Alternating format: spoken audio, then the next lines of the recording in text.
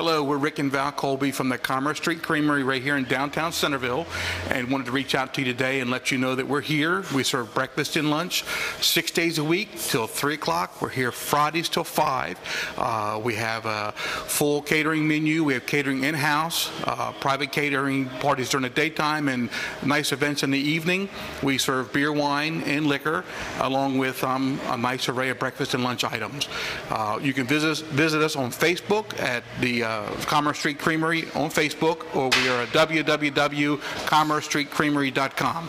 We'd also like to mention that we are asking if anyone has information about Samantha Caballo from Suffern, New York. She would be 16 right now and is one of the missing children.